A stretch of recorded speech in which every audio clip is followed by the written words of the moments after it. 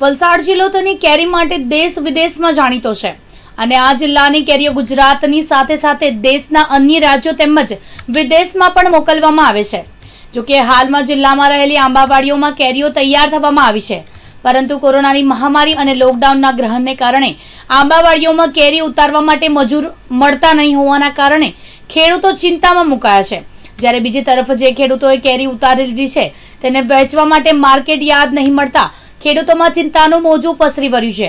વલસાડ જિલ્લામાં છત્રીસ હજાર હેકરમાં કેરીનો પાક લેવામાં આવે છે અને આ જિલ્લાની હાફૂસ કેસર, તોતાપુરી, લંગડો અને પાયરી જેવી કેરીનું મોટા પ્રમાણમાં ઉત્પાદન થાય છે.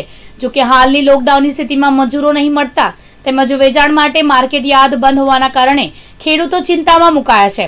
જેના કારણે આગામી અખાત્રીજ પછી માર્કેટમાં કેરી આવવાની શક્યતા જોવાઈ રહી છે.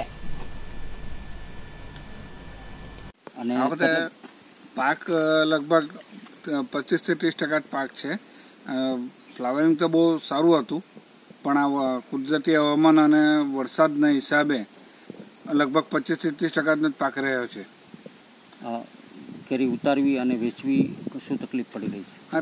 આ વેચ આ ઉતારવા માટે તો અમારા ધરમપુર સાઈડથી બધા મજૂરો આવે છે ને ત્યાં કોરોનાના લીધે ટોટલી અત્યારે બંધ જ છે. અને વેચાણ માટે એપીએમસી માર્કેટ ટોટલી બંધ છે.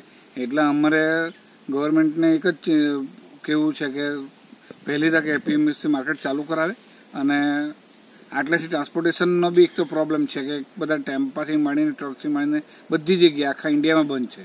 એટલે અમારે આખો તે કેરીનો પાક ફેંકીને દેવો પડે પરિસ્થિતિ છે. એટલે સરકારશ્રીને થોડું ધ્યાન દોરવાની જરૂર છે. કેટલું ટર્નઓવર કરો અમે લગભગ સાતથી આઠ લાખ રૂપિયાનું થાય છે દર વર્ષે, પણ આ વર્ષે ઓછું છે.